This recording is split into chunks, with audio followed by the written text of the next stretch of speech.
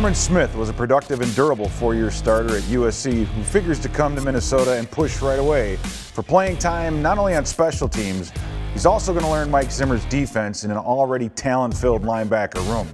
Smith trained and contributed at both outside and inside linebacker at USC, which only increases his odds of making an early impact. Let's take a look at his tape to identify some of the traits that make him stand out.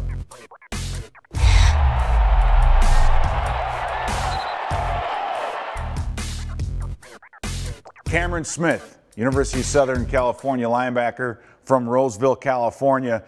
Few highlights, some of the things that he does real well. And the you know the linebacker position's changed over time, and it's all about being athletic. It's all about being able to make plays in space, to read, execute, and you know and do it very very quickly. And I think this is one thing that he does very very well. You can see teams trading tight end. They have to reset. He's fine. He's getting everybody lined up. And as a coach, you always like to see that out of a linebacker, a guy who knows what's going on around him and can help point guys out and put them in the right direction. But his, able to, his ability to key and diagnose is the big thing, right? At the snap of the ball, he's shuffling his feet, staying square.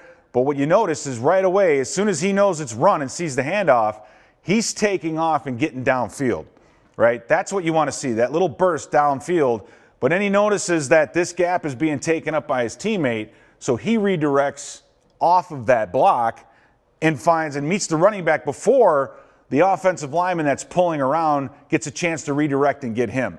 So this is what this is what's so powerful and what's so good about a linebacker who wants to get north and south. He's going to read, key, diagnose, and then get downhill. And oh, by the way, once he gets to the spot, he's able to make the tackle, has that speed and explosiveness to get down there. That's how linebackers can make up for a lack of speed, or if they're not, you know, if they're not 4-4 or 4-5 guys, by being able to diagnose, key, good footwork, get downhill, can make up for a lot of that. So here, against my alma mater, Notre Dame, team that loves to run the football, a linebacker should never get blocked by a wide receiver. In this case, it's Miles Boykin coming down, trying to seal him off as they get outside. They're pulling guys. They're trying to get all these bodies out on the outside. He sees that block coming, puts his shoulder in, and then gets off of it and is able to get downhill and still get in on the tackle.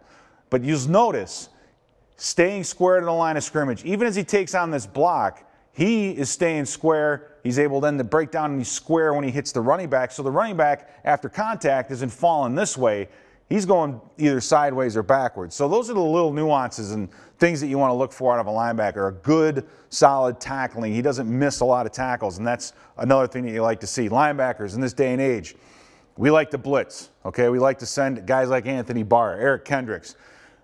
The ideal situation, and if you're if you're game planning well, is when you send a linebacker through a gap, you want him to be blocked by the running back.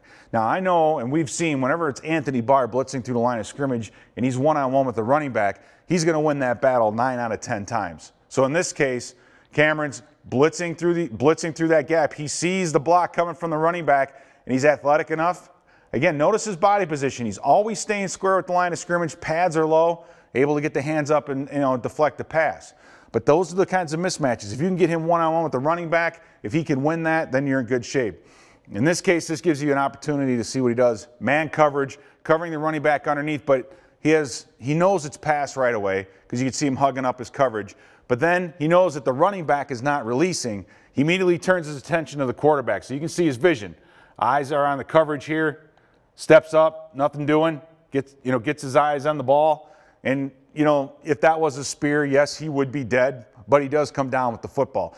You know, linebackers are just tight ends that can't catch. That's why you play on this side of the football. But Cameron Smith combines a lot of really good fundamental things, very smart, diagnoses very well. Once he learns this system and gets an opportunity to play and see this game you know, really in full speed, I think he's going to be a positive contributor right away on special teams, but also eventually on defense.